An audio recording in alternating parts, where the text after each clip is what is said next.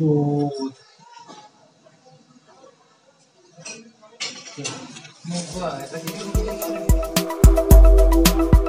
जम्मू कश्मीर में आतंकी फिर एक पुलवामा जैसे हमले की प्लानिंग कर रहे थे, जिसे पुलिस और सुरक्षा बलों के जवानों ने नाकाम कर दिया। सेना ने पुलवामा के आयन गुंड इलाके से आईईडी से लैस सेंट्रो कार बरामद की।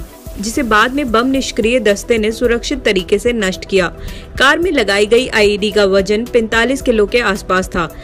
ये आईईडी से लेस कार, आतंकी संगठन हिजबुल मुजाहिदीन और जैश ए मोहम्मद के सदस्यों ने तैयार की थी। आईजीपी विजय कुमार ने घटना की जानकारी देते हुए बताया कि दक्षिण कश्मीर के जिला पुलवामा में सुरक्षा बलों को निशाना बनाने के लिए ही हिजबुल मुजाहिदीन और जैश ए मोहम्मद ने मिलकर ये आईईडी से लेस वाहन तैयार किया था।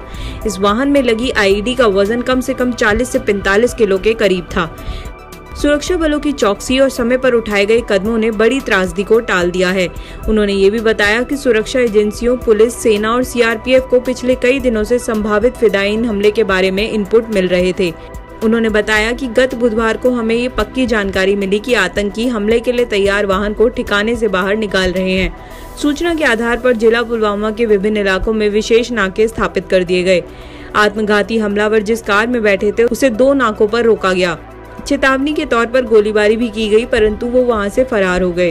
हालाँकि सुरक्षा बल उनके पीछे थे। पुलवामा के अयानगुंड के राजपोरा इलाके में कल देर रात आतंकी वाहन छोड़ वहाँ से फरार हो गए। धुम करके आवाज़ आ जाएगी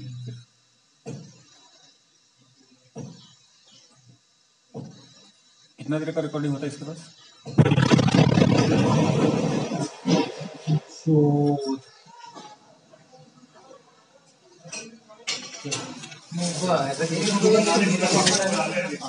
पूरा धुआँ जाने दो उसके बाद ही आप नहीं टूटा था नहीं टूटा